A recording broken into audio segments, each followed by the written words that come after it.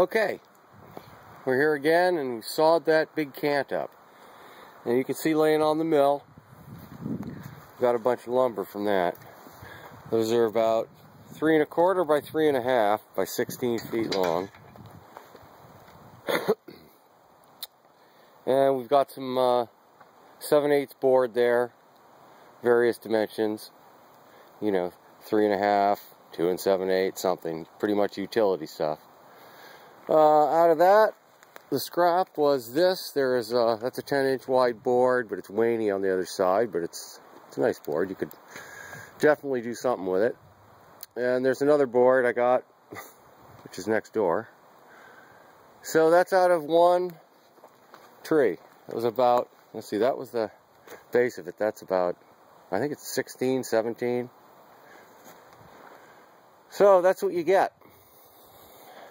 I'm going to get this on blocks and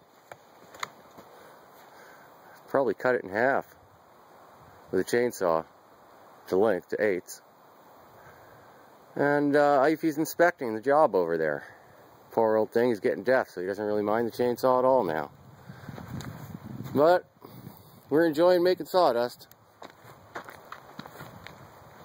Hey, Ife. Well, take care.